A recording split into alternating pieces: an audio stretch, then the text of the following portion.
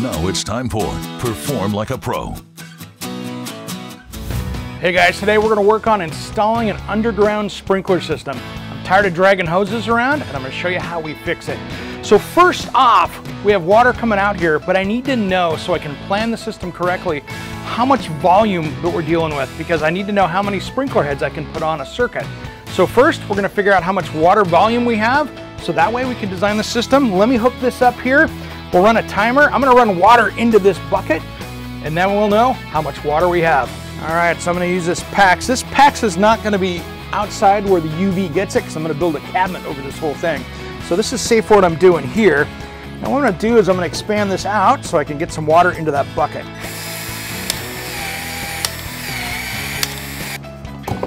Put it on the other side of my water valve. Now let that shrink around there. Then I'll be good to put water in the bucket. All right, I'm gonna slide this down like this. That's nice stuff with this. Grab my phone, go over to my timer, and I know that's a five gallon bucket, so I can go over here and be ready to go. All right, clock, stopwatch. Hold that. Start.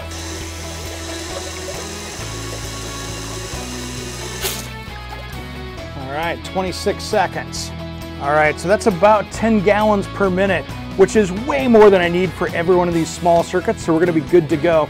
If you have a large yard, that's really where that makes a difference because otherwise you'll turn a sprinkler set on and it will not have enough water and the sprinkler heads won't shoot as far as you want them to. So that's a very key number for designing any sprinkler system. Now I'm mounting this on the wall, which is a little bit different than many times you're gonna put it down into a hole where you've got a cover and things like that. And so what I'm gonna do is I wanna have this accessible because of this deck right here. I don't want to have to have a big panel to take off in the deck to access this stuff. So I'm gonna build a backer panel here for this and cut it to fit. This is actually a waterproof board, so it'll go up there very nicely. That way, as I build onto this thing and add circuits, I can expand this out as I need to because there's gonna be a cabinet covering all of this.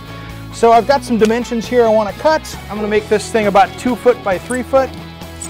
So let's make some marks.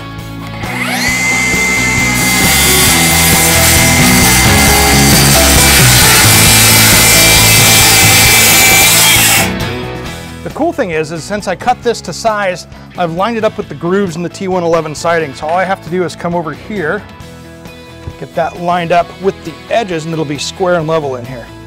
So all I have to do is bring that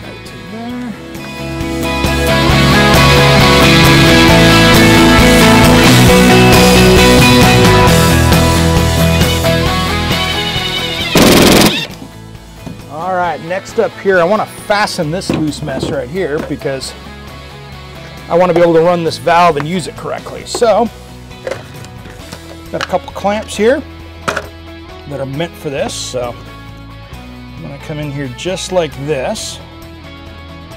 So that way we don't get in the way of this valve at all. All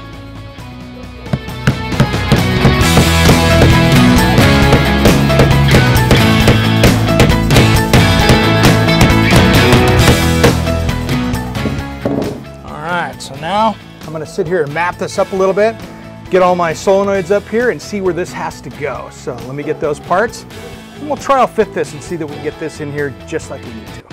All right, so we've got this up here. This is gonna be my whole manifold system here. So this is all the solenoids that the timer controls electronically. So when I want the first station to run, this will turn on here, that'll turn off, next one, and so on.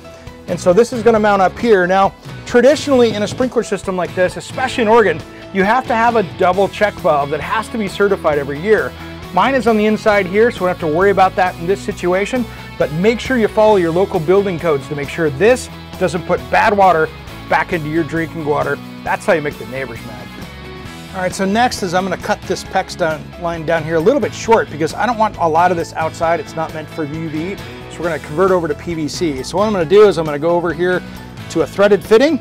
So then I can go to a bushing like this and then go into PVC the rest of the way. And that'll be how we do this. So first, I'm gonna cheat a little bit. Since we're tight up against the wall here, I'm going to actually get this threaded up first. So I'm gonna get some Teflon tape anytime you're putting thread to thread like this, You want to use a couple of wraps of Teflon tape to keep this from leaking. So I guarantee you, it'll try to leak on you. So I put a couple wraps around here, clockwise, so it goes with that. That way when I thread this on, tape stays on there. There we go. So all right, that's gonna sit just like this. My solenoid valves are gonna be way up here because I have a lot of other stuff going in. So this is gonna come up and into here. So next, let's cut some pipe and get this thing fastened together. All right, now we're down in the trenches here. Let's get this first one going. I've got a three quarter inch sprinkler, so I've got three quarter inch threads coming out of this tee. So I'm going to first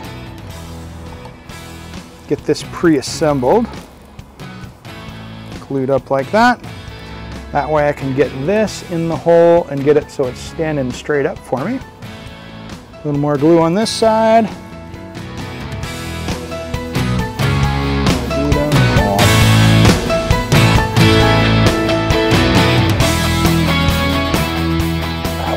That right where I want it. We're going to continue on with the rest of the pipe, and then we'll hook the sprinkler. All right, let's go in here with some pipe. I want to get down beyond this handle so I don't have to worry about that moving out of the way. Give myself a nice clear shot to that. This will be good. So I'm going to bring this down about 16 inches.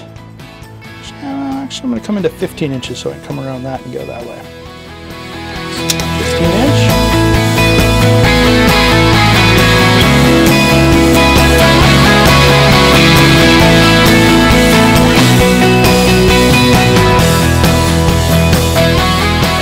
Get the uh, down pipe down. I already have a pipe that's underneath my deck right now. And I'm going to measure from that here. To be about, go to here, about 21 inches. All right. Last connection here before we go out to the sprinkler.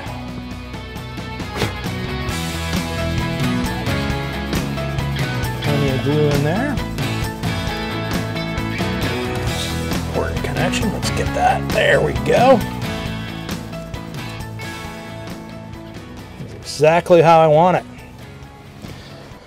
Next up, let's put the sprinklers on. All right, our last step on getting the sprinkler in is going to be just hooking this up. I've already got a riser in here. Now this is going to get put in with a bunch more dirt in here. So I've got a big landscaping project. So I don't know exactly how high this is, but what's cool with these is these are a cutoff riser, so I can make them as high as I want. But for now, I'm just gonna get this screwed down in here. Now we're good to go. So we'll test that after we hook up the sprinkler timer. All about saving money, as you know, and you know something, going with this Rachio sprinkler timer is the way to do it.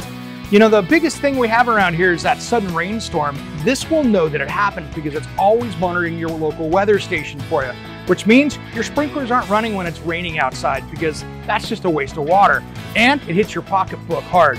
So I'm gonna install this in and then put in the type of soil I have, the trees, the plants, the garden, and it knows to put the amount of water in that's correct and you're not overwatering or underwatering. This is the secret weapon to this project.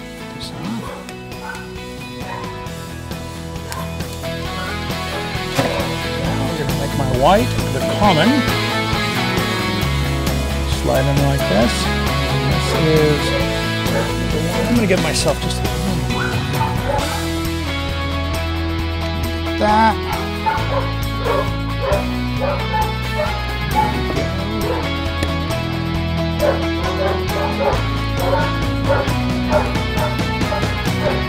Just snaps in here.